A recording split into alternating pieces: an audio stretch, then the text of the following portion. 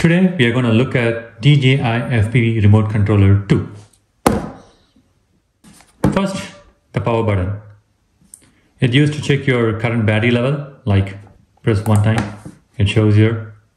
To turn on the remote controller, press one time and then hold. The same way, just press one time and then hold. Turn it off. This is the lanyard attachment. You can use it to put your neck strap and then you can hold it on your chest hand and you can work, work with that. The other good thing is you can use to hook up your GoPro camera to record all your joystick actions. So like when you start to do your sky actions and at the same time you need to record all your joystick moves. So you can put your GoPro camera here and then you can start recording your joystick movements. So where is the joystick? It's here. So when you get the new DJI FPV remote controller, they will put the joystick here. So it'll be in this slot. You can take it out and then you can hook it up here. So let's do that. And I personally recommend don't do this all the time. Like taking it out and then putting it back here, storing it. Just do one time, just install it. And after that, don't do that again and again. So leave it there forever. So the next thing is the C1 button used to control from your goggles. So this is just press once to adjust the coordinations or you can use it twice to enable like a beeping sound there. You can use the C1 function for um, to beep your aircraft. Like example, if your aircraft is in a, a bush somewhere and you couldn't be able to find it, so use the C1 buttons to beep. And you can see there is a USB-C port. So this USB-C port is for charging and also you can hook up to your computer to play simulators and other stuff. So we can see that in detail in the later part. That's pretty much of all this thing here. So quickly, I can tell you like um, how this works. This is just for the throttle. Uh, currently, this is in the manual mode. I just tighten up so I can control the throttle rather than leaving the remote controller to um, control that. But when it comes in the brand new, it won't be like this. It'll be like this.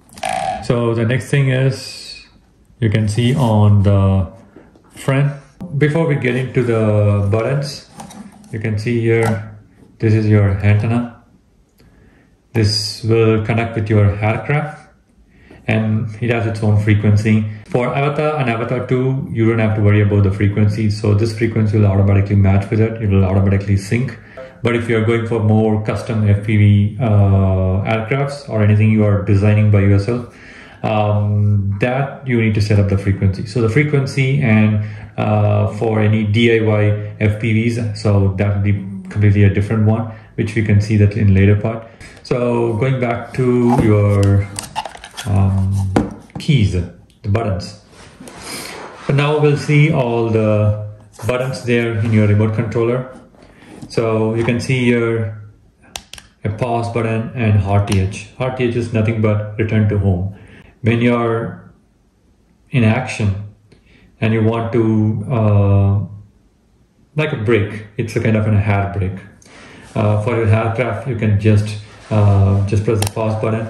Automatically, whatever the directions, whatever the action your aircraft is performing, it will stop that and it will come to a hover in place. It won't do any actions like it won't throttle, it won't move forward, backward, nothing. It just hover in the same place wherever it's uh, it's located.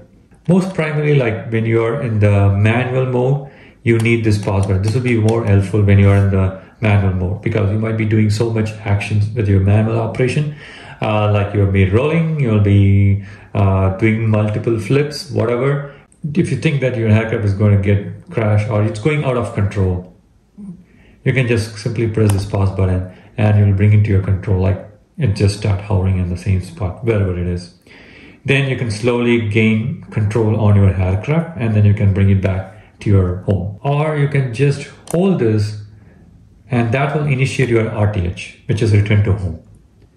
Pause button, just to hover your aircraft in the same spot to avoid your dangerous situations or whatever you're performing, whatever the actions you're performing.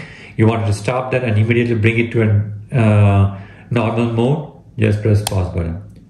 And if it's going out of control or okay, I don't want it to control anymore, let's bring it back to my home. Just hold it for some time and the RTH will get initiated and then your aircraft start coming back to your home location. When I say home, that's where your aircraft is started. So whenever your aircraft starts from the ground, it will mark that position as your as its own. So wherever it goes, when you initiate the RTH, it go it comes back to the same spot where it started. And you can see here the three switch, three mode switch. It says So it says NSM. So by default, it'll be in normal mode and you can switch it to sports mode and also you can switch it to manual mode. But manual mode won't work until you set up that configurations in your goggle. You need to go to the goggle, you need to go to the controller and there you will switch it to the manual mode. Then this manual mode will work from your remote controller. It's for the safety reason because uh, manual mode is more complicated. Uh, I don't say it's complicated, it's more risky until unless you learn how to operate in the manual mode. The normal mode, you can start it with your remote controller. It just hover, goes forward, backward, but there won't be any flips.